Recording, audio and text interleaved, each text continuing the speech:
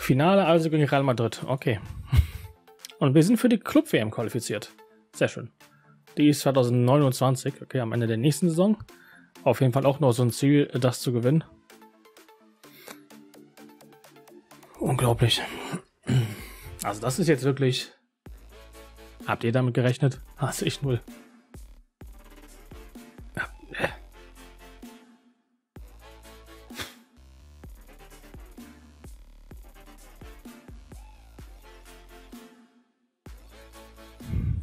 Bielefeld wird die Stammelf spielen. Ist klar. Also da werde ich jetzt nicht irgendwie eine zweite Mannschaft spielen lassen, weil die sollen diese einspielen, ne? Die sollen diese auf jeden Fall einspielen.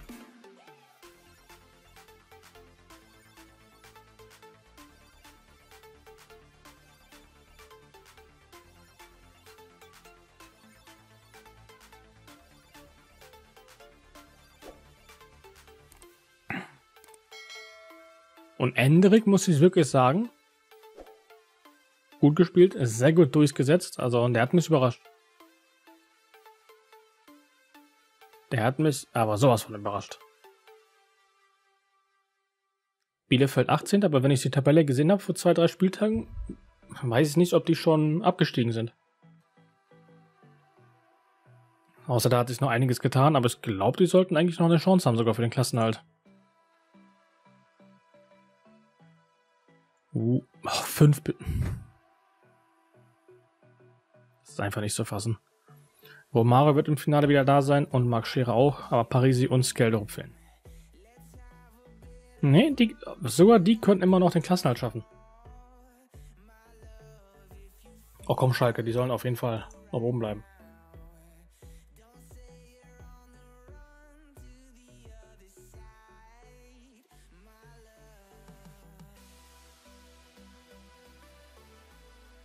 Scherer so lange am Ausfallen. Wobei der ist ja sogar noch. Ne, der ist nicht ausgeliehen, genau. Schade eigentlich, ne? Stimmt, ich habe ihn ja zurückgeholt, weil er sich in Nürnberg halt so lange verletzt hat. Anhelo kann wieder ran. Ja. Das ist soweit alles, ne? Parisi wird leider auch ausfallen, also die Abwehr wird auch so spielen. Jude, Moises, Angelo, Rüdiger, Matthäus und Mokoko. Speichern wir und dann geht's los. Und ich glaube, ein Testspiel werde ich danach nicht machen, weil ich glaube, wir spielen 10 Tage danach, ne? Ah, 14, okay, dann kann man doch dazwischen ein Testspiel machen, oder? Wobei, ne, da habe ich so viel Angst. Wir verletzen uns gerade so häufig. Lieber nicht. Da ist halt die Frage, soll ich dann mit der Auswärtstaktik rangehen? Gegen Real ist ja neutral. Ich denke schon, ne?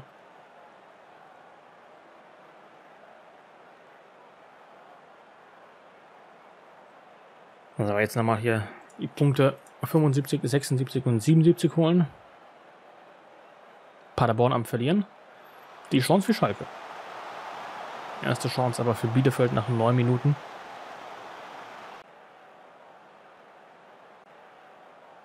Frankfurt rote Karte, aber geht ein Führer. Okay. Ich wollte sagen, das wird Schalke locker schaffen. Zu früh gefreut. Die Chance für Bielefeld bei einem Sieg Klassenhalt zu schaffen. Oder eher gesagt, in die Relegation zu kommen. Also motiviert werden die sein. Bis in die Haarspitzen, wie man so schön sagt. Gut aufgepasst von Patterson. Jetzt geht aber hoffentlich die Post mal nach vorne ab. Tolles Zuspiel. Mokoko 1-0. 28. Also bislang haben wir wenig gezeigt. Kommen jetzt aber einmal nach vorne und sind direkt in Führung.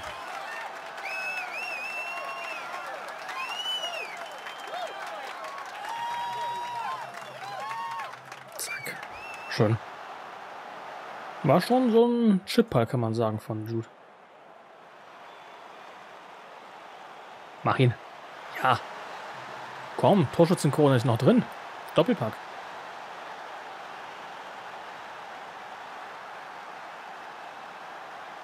Schön reingezirkelt.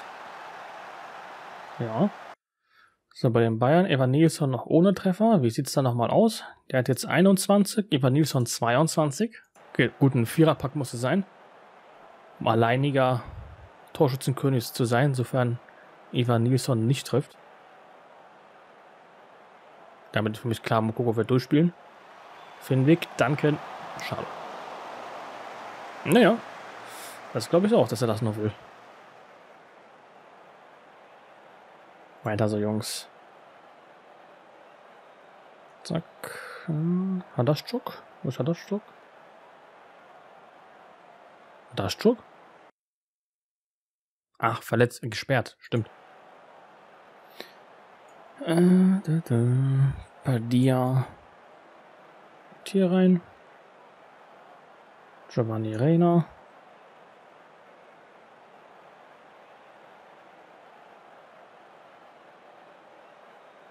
Angelo soll noch spielen. Noch ein bisschen mehr Spielpraxis sammeln hier. König Tell. Und einen Wechsel sparen wir uns noch auf. Sorry, bin hier an Mikroständer Ständer gekommen. 2-0 Frankfurt, also ja, sorry, da, hat, da ist Schalke aber auch selbst schuld, ne? Machen wir mal die Heimtaktik, komm. Ich will noch eine Bude mehr hier schießen.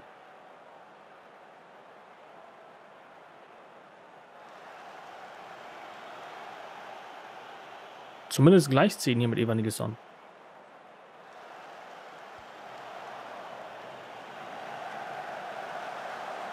Mokoko. Ja, gleich gezogen. Einer fehlt noch.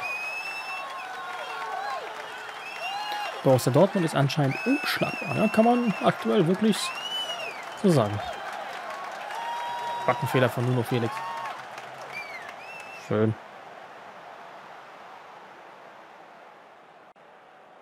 Ja, noch kein Tor, Ivan Nilsson. Offensiv. Ein Tor noch. Ist doch möglich.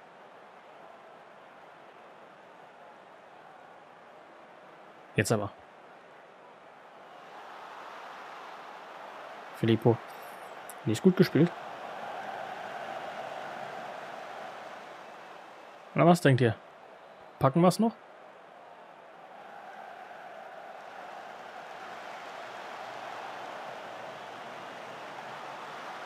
Schön, auf Endrik. Da hat Endrik den Ball fast in die Mitte schießen können. Schade.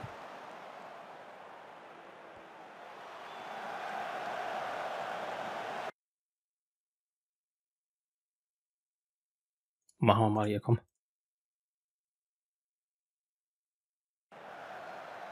Probieren wir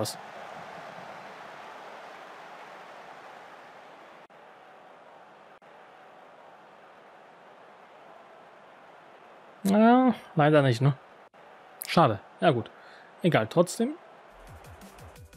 Hat er wahrscheinlich weniger Minuten gespielt oder weniger Minuten gebraucht pro Tor als Evan Nilsson, weil er wahrscheinlich schon weniger Spiele hatte. Moin Exotic, Hallöchen, mein Freund. Wie geht's?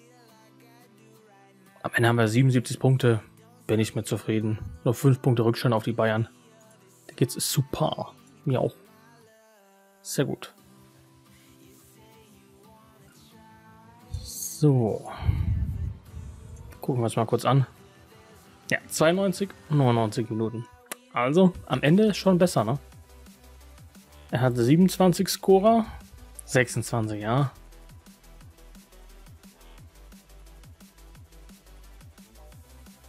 Okay. Ja, klar, kein Problem. Sehr gerne. Kommen wir direkt vor bis zum Spiel gegen City, sind ja zwei Wochen.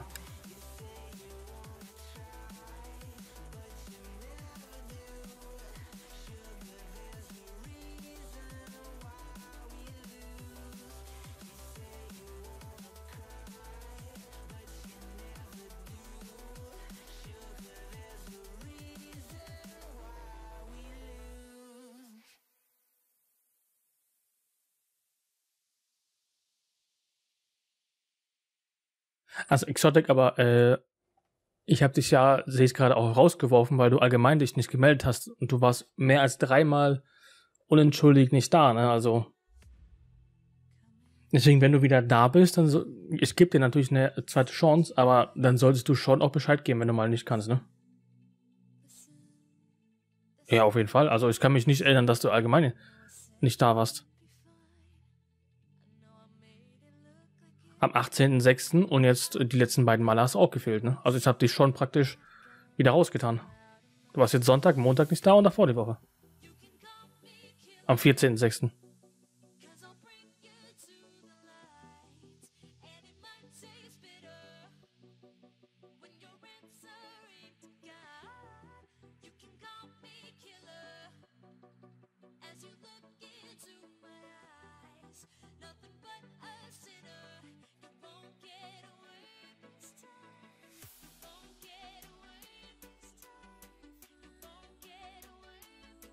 Ich sage ja, wenn du mal nicht kannst, es ist wirklich kein Problem. Sag nur Bescheid, weil wir haben viele Leute oder haben oft Leute, die mitmachen wollen, ein Team wählen, wo jemand anderes vielleicht mal Interesse hätte, aber sich dann nie wieder melden, gar nichts schreiben. Und wenn wir wenigstens sehen, er schreibt dann, ich kann jetzt nicht oder ich kann die nächsten zwei Wochen nicht die, oder dem ganzen Monat nicht, wegen Urlaub, wegen sonst was, dann wissen wir wenigstens, okay, der will mitmachen, der kann gerade halt nicht. Und wenn sich jemand dann gar nicht meldet, dann denken wir so, okay, der hat wohl doch keinen Bock, sagt es nicht. Versperrt jemand eventuell einen Verein. Das ist halt die Sache, ne? Aber wie gesagt, du kannst gerne noch mitmachen, ne? Schreib ihn dann einfach privat im Discord und dann kannst du halt gucken, wen du nimmst, ne? Mokoko kriegt Torprämie. Fünf bis sechs Tage. Parisi, Padilla ein bis zwei Tage, okay. Ja, klar. Sehr gerne. Wenn du wieder am Stissel bist. Wir hatten jetzt auch zuletzt auch jemanden, der hat im Stream gesagt, er hat Bock mitzumachen. Ist beigetreten dem Discord. Ach, fuck. Schade, schade, dass du nicht mitmachen kann im Finale. Habe ihm alles erzählt, hat Regeln durchgelesen, alles. Okay, dann meinte ich, ja, kannst auf dem Discord. Und dann war der wieder weg. das ist halt dann immer ein bisschen blöd. Ist einfach auf dem Discord rausgegangen, ohne was zu sagen. Und das ist halt. Boah. Jackie Katschar. Muss man sich mal gönnen, oder? Vielleicht kann man ja jetzt wieder mit ihm verhandeln, ich hoffe es.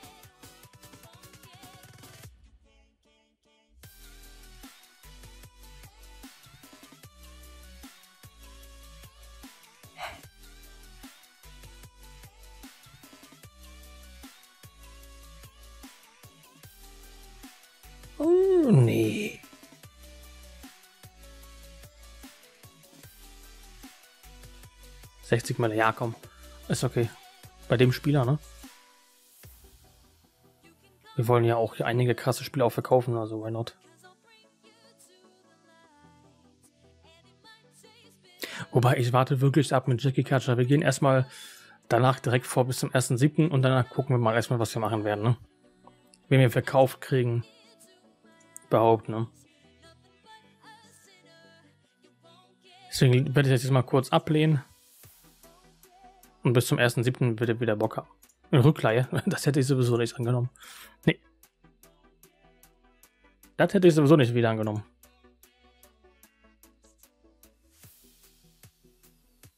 So Leute, jetzt mal speichern. Und dann geht es wirklich ab. Nadastrak wieder auf die Bank.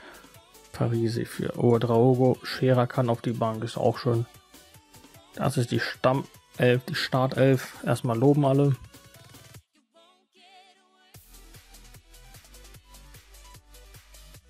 Sehr gut, ohne Ball jetzt bei 15.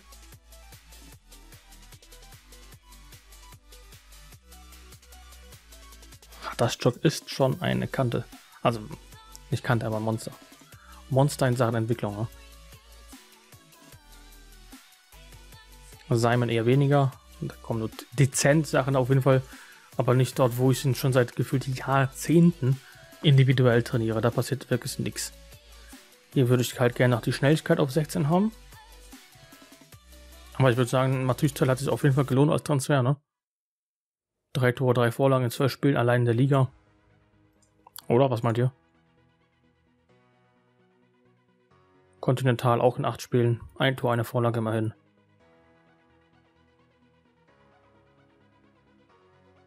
schon effektiver jetzt als ein Scale-Drop. Also, ja.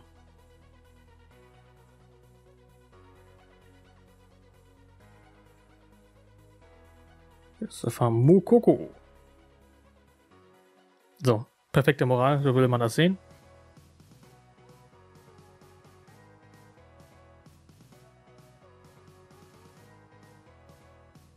Spiel speichern.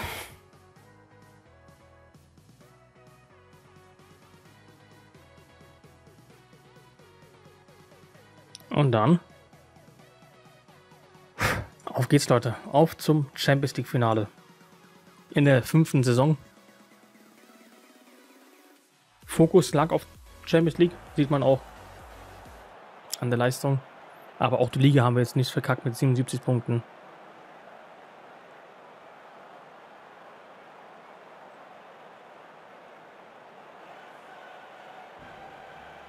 Jetzt genießen wir mal kurz die Hymne, oder?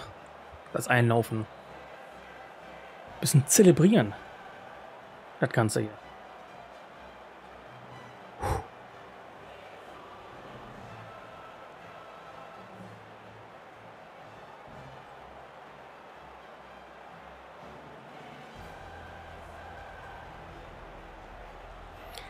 Da laufen sie ein.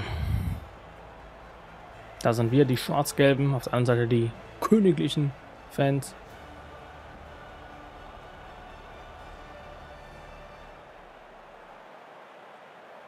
Let's go.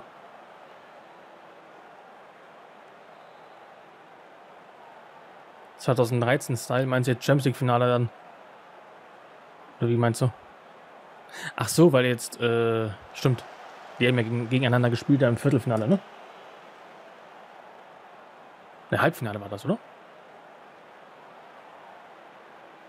Hier, wo Lewandowski 4-1 gewonnen hat. Und rück, äh, Lewandowski hat 4-1 gewonnen, ja. Kann man gefühlt zu so sagen, ne? Halbfinale, ja.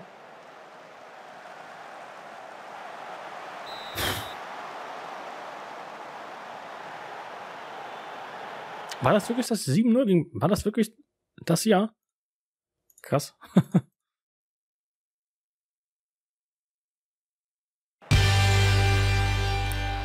Dankeschön für dein Follow, DarVinci23. Herz geht raus. Ich ziehe den Hut vor dir. Vielen, vielen Dank, mein Freund.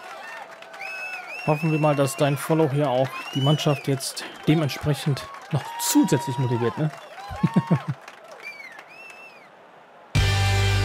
Dankeschön auch für 17 Bits. Was ist das denn hier? Hat einen Einstand von dir, Da Vinci.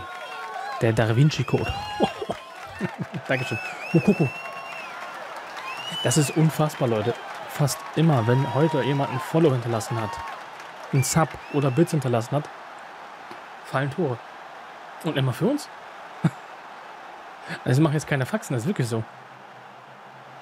Das ist richtig schön, ne? Und zack.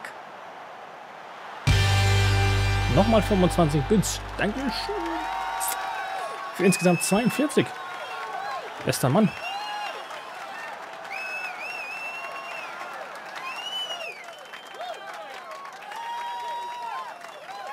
Thank you, thank you. Ferland Mondi, Chouameni, Kamavinga. Ja, genau, 4-3, ja. Das Rückspiel werde ich nie vergessen. Die letzten 10 Minuten konnte ich nicht mehr gucken.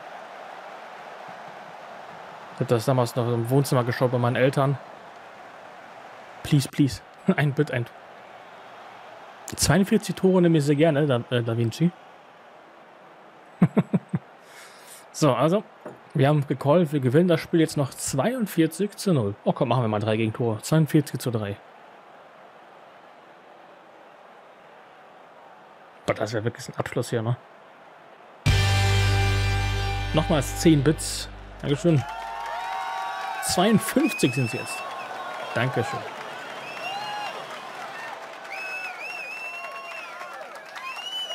Gallagher, Chouameni. Oh, nochmals 5. Ich werde jetzt aber nicht das ganze Klatschen machen, weil sonst spam ich ja alles zu sehr vor. Voll. Abraham. Und Simon denkt sich so, dass diese Parade war mir 5 Bits wert. 40 Minuten noch, Leute. Plus Nachspielzeit.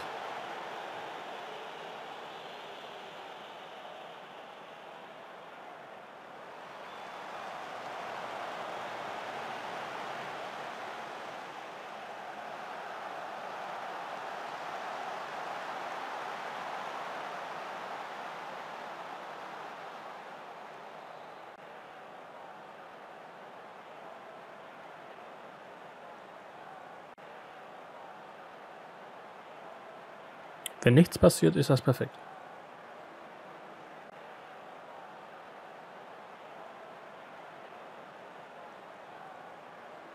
Schon die 83. Hm.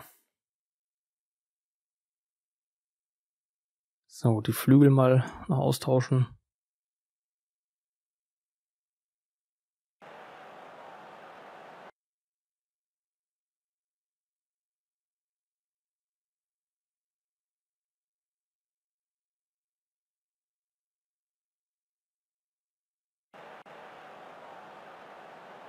Siebenundachtzigste.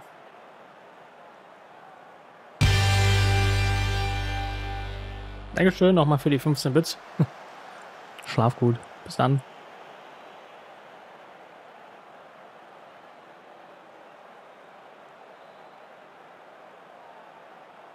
Wir haben den Ball, das ist das Wichtigste. Oh. Ich dachte schon, der passt jetzt einfach wirklich in den Lauf von dem Stürmer. Lauf Endrick.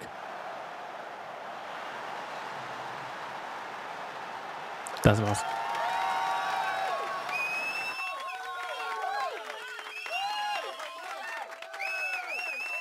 Was ein Konter. Das ist ja Exotik. Auf jeden Fall. Ich habe es geplant für diese Saison, aber dass es dann doch klappen wird, hätte ich jetzt wirklich nicht gedacht. Und wenn man sich mal anschaut, wen wir besiegt haben, Halbfinale City, jetzt Real. Zwei Minuten, ja, das ist es. Wir haben es wirklich geschafft?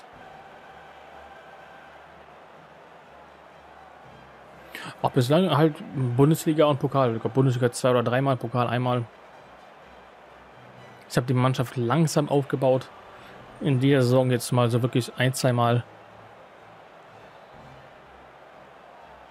Weil eigentlich habe ich nicht viel Geld ausgegeben, muss man sagen, ne?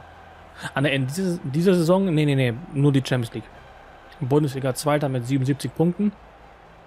Dankeschön, sehr cool. Ja, sehr cool.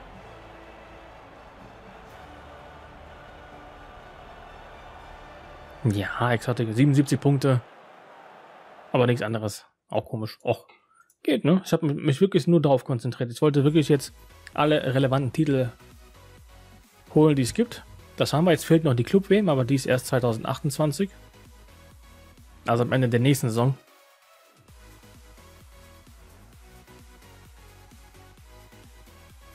Mit 82. Ja, bei uns.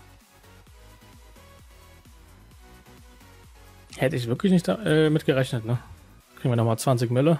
Nah dran, ja. Fünf Punkte Vorsprung. Ja, aber man muss sagen, 77, 77 Punkte sind auch okay. Wir hatten jetzt vor allem in der Hinrunde viele Probleme auswärts. Dann habe ich so eine Taktik gefunden, die gut funktioniert hat. Gucken wir uns mal kurz die Rückrunde an. 40, ja. Auswärtsbilanz. Zuletzt sieht man hier 10 Punkte in den letzten vier Spielen davor. Okay, ja gut, zeigt gerade nicht die Liga, aber wir hatten davor halt schon Probleme auswärts. Hätten wir die nicht gehabt am Anfang, hätten wir es wahrscheinlich geschafft. Aber dafür haben wir wirklich die Champions League geholt. Im Pokal sind wir in der zweiten Runde ausgeschieden gegen Bremen. Bayern hat gewonnen. Im Halbfinale hat er, glaube ich, Bremen in München verloren. Leverkusen 3-0, glaube ich, in Hoffenheim. Ja, und wir haben die Champions League mal eben geholt. Ja, und ich wollte wirklich jetzt noch krasse Spieler holen für die nächste Saison, aber werde ich trotzdem machen, weil wir wollen natürlich uns sozusagen vorbereiten für die Club-WM. Ne? Also Jamal Musiala ist, glaube ich, schon so Ziel Nummer 1. Wahrscheinlich Skelderup verkaufen. Dann würde ich links außen Musiala haben als Ersatzteil. Sofern Musiala will, aber ich denke mal, der Gewinn der Champions League hilft uns da auf jeden Fall. Mal kurz mal schauen hier mit den Mitarbeitern. Lotka 28. Naja, stimmt, ein bisschen die Bayern leer kaufen. Hier läuft nichts aus, was ich, wo ich es nicht möchte, bei den Mitarbeitern. Äh, ich glaube, da stand irgendwas mit 110 bis 130 Mille. Aber es will ja wirklich Scale verkaufen. Wenn ich halbwegs vielleicht 70, 80 für ihn kriege, Rainer will ich verkaufen. Ich will die ja jetzt nicht kaputt kaufen, sondern wirklich einfach nur den Spieler haben. So. Hauptsache keiner von uns ist die Nummer 1. allgemein nur ein Spieler von uns dabei, Simon. Wow. ja, ein guter Preis, ja. Wenn es dabei bleibt, ne? So, Mitarbeiterverträge. Oh, da läuft ja einige 27 aus, ne? Machen wir, lassen wir mal hier den Sportdirektor das machen. Oh. Läuft ja alles aus.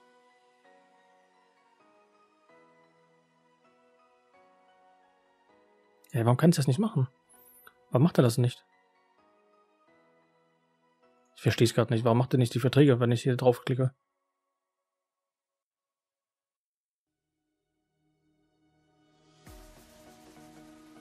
Hä? Ich will doch jetzt nicht hier... Okay. Tulberg, Gimarage. Ah, einige macht er schon, oder wie? Hä? Ich habe doch nichts gedrückt. Ja, klar, ich habe aber extra den Sportdirektor nicht ausgewählt.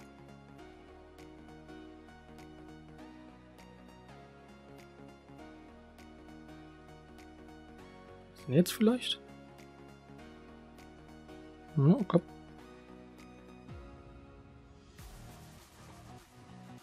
Oh, das ist nervig gerade.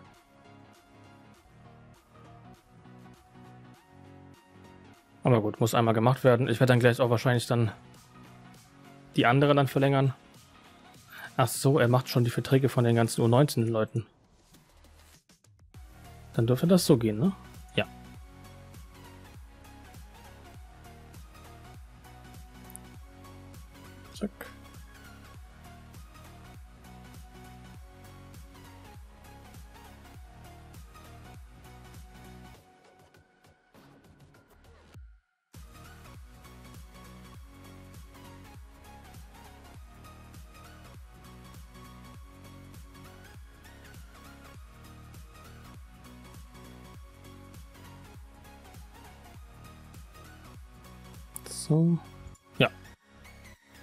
Ja, genau, der macht schon welche mit der U19. Gut. Dann gehe ich jetzt hier vor und würde mal sagen, das war's dann mit der heutigen Folge und auch mit dem heutigen Stream. Das hat auch ein cooler Abschluss. Und ich gehe vor bis zum 1.7. gleich noch direkt. Ich will nur später noch ein paar Verträge dann direkt auf, auslaufen lassen, damit die jetzt nicht am 1.7. dann ohne Vertrag bei uns sind. Also die Spieler aus der Jugend und so weiter. Genau. Also, habt noch einen schönen Tag. Ich werde jetzt mal jemanden raiden. Ich gucke mal kurz wen. Wen gibt es denn hier so, den man raiden könnte? Nehmen wir mal Sundog TV. Saisonfinale, perfekt. Dann könnt ihr beim noch ein bisschen das anschauen. Dankeschön auf jeden Fall für den Stream. Der war heute ein bisschen kürzer, aber ich wollte die Saison halt zu Ende bringen. Danke für die ganzen Follower, für die Bits, für die Subs. Wir sehen uns spätestens am Sonntag wieder, vielleicht morgen mal gucken. Macht's gut. Bis dann. Ciao, tschüss.